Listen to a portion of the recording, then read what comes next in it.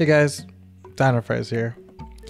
And um, I wanted to do a little quick review of Cult of the Lamb, which came out a couple months ago now. I got this game actually right when it came out. I was actually really looking forward to it.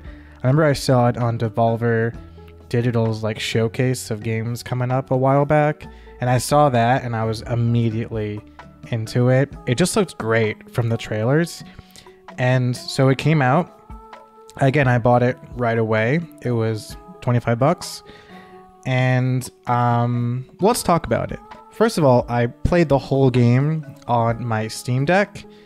I'm happy to report that the Steam Deck is awesome, by the way. Highly recommend. It runs great on the Steam Deck. So if you're thinking of getting this for um, the Steam Deck, I can let you know it's it runs really good. I had no problems at all. And so yeah, so now let's talk about the game. So the meet like the moment you start this game, you're pretty much sucked in. The introduction is short. The tutorial they don't really have to teach you much because the the gameplay is relatively simple. So I like games that where you, you start it up and there's not much of a learning curve. You just you're right in. So the, the game is kind of split into two parts. There's there's the roguelite dungeons, and then there's a town management system.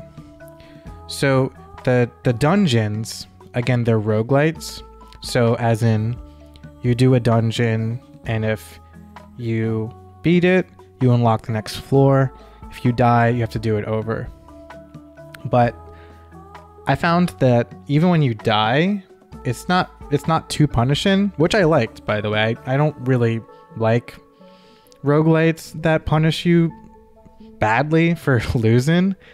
Um, some of them I get, like Hades, I get it. Uh, Hollow Knight, I don't get why they punish you so much in Hollow Knight, but that's neither here nor there. So basically, when you die, you go back to the beginning, obviously, but you actually get to keep 75% of your resources. So like you get money and resources in the dungeons and you get to keep 75% of it or or like you lose a quarter of what you found. So you still progress, you know what I'm saying? And like I said like the the uh, downsides to dying is not that bad. Combat wise, it's pretty simple. You just, you know, you attack, you dodge and you have like magic, you have like spells that you pick up. So you go into a dungeon and you get to choose. Well, no, I'm sorry, you don't choose. They give you a weapon and they give you a spell, and then sometime somewhere in the dungeon, uh, I think always once, sometimes two or three times, you're able to swap your weapon as well as your spell, or it's like one or the other. And like for example, some of the weapons I found were kind of shit and others were like dope.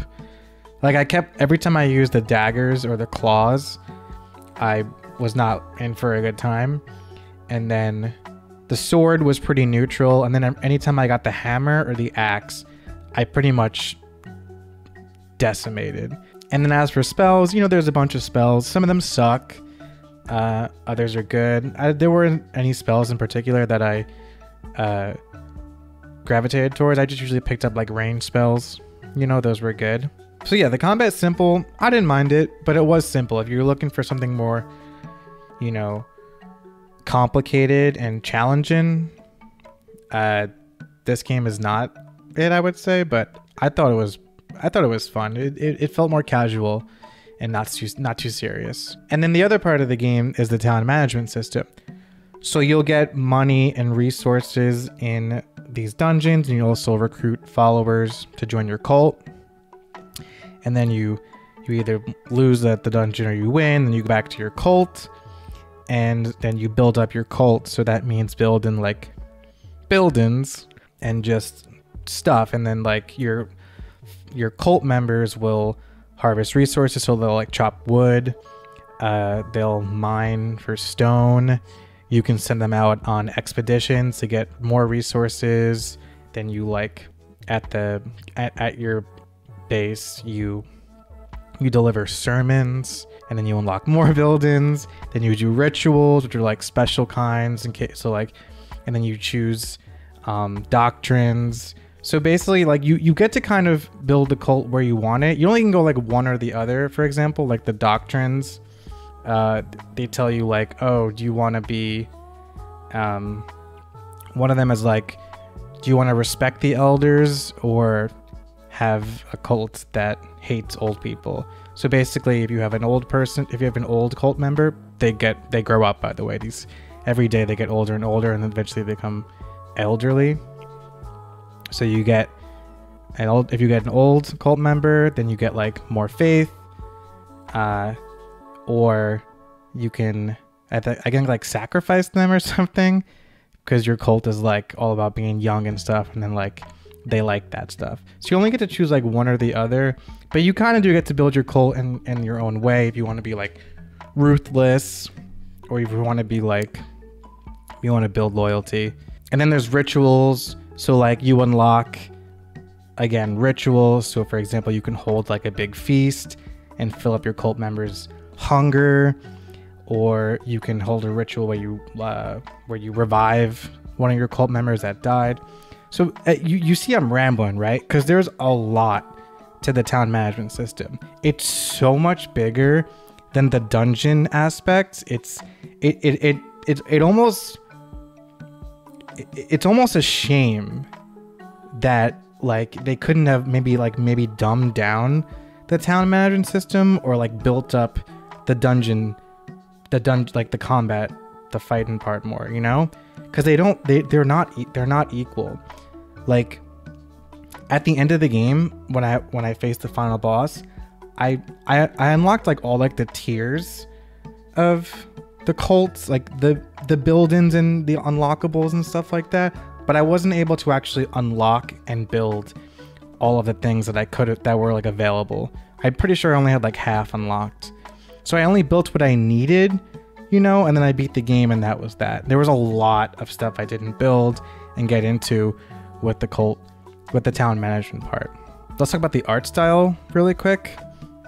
10 out of 10 like this game is beautiful. Like it's not like graphically impressive of course but i don't know. It's just like it's just cute and i love the art style. I'm into that kind of like cartoony stuff you know? I think they did it fantastic. The sound effects are cute. The music they're not really the, the music is music's fine. Nothing crazy but fit fit the ambiance like they fit it well. Yeah not no complaints about the art style for sure. And i would say like just concept wise i think they nailed it too. I mean the whole cult thing there's really they really they really did it well. You know you're not you're not just a lamb who controls a cult. Like everyone's an animal you know? There's also like um, there's also like other places besides like the cult. Besides your home base and the dungeons there's also other places you visit. Um, for and there's also like a card game you can play which was fun. Not a card game it's like dice. And i don't know like, i'm just i'm just trying to say like the whole the whole like an- like a world full of animals who are like some are good some are bad and they're just kind of like in this like weird fantasy forest thing. It, it, it's just the concept is great. You you do kind of get lost in the world. It's very it's very fun to be in. I enjoyed it a lot. I, I really like the the the concept. And there's also like there's also there's like fun little things that happen you know in the game that that add to that.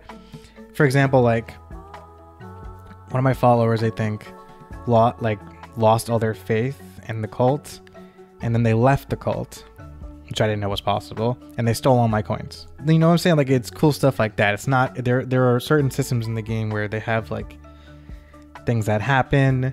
You could murder a follower. For example like i could have murdered that follower and you have to murder them in the dead of night when everyone else is sleeping. So this way they don't find out and like get scared. What else do i want to bring up? I mean there's a lot of like little cool things that happened in my playthrough.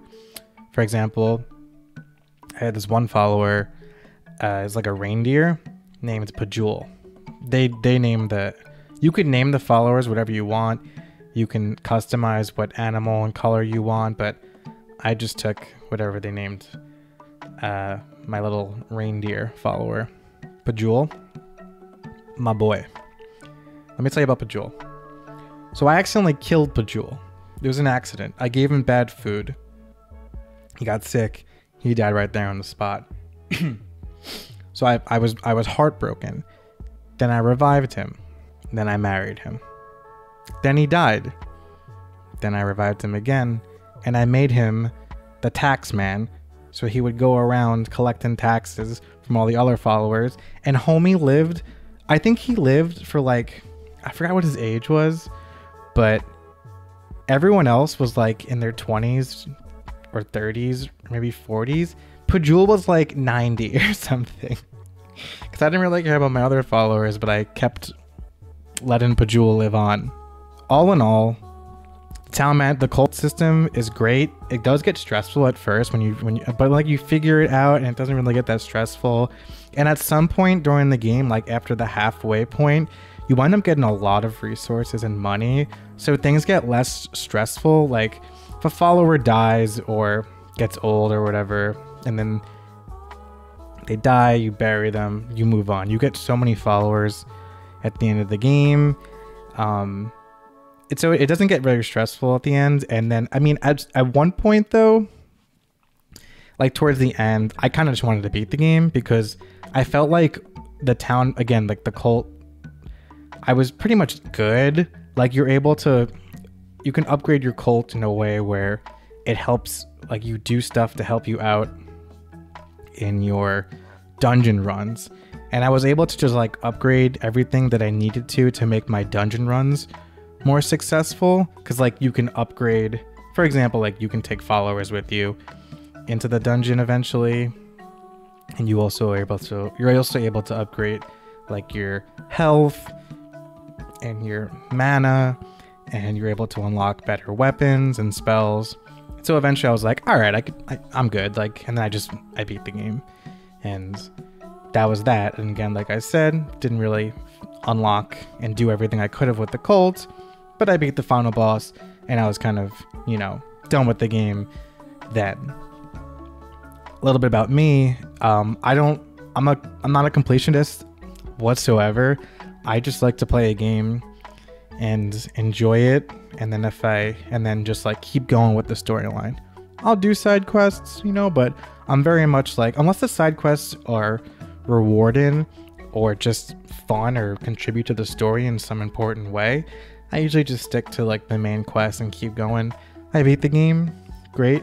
I move on to the next game. That's just the way I play. And yeah, that was Cult of the Lamb. I mean, I will say like it was easy for me to put Cult of the Lamb down. It was fun and I enjoyed playing it. I'm glad I played it worth the $25 for sure. And I recommend it.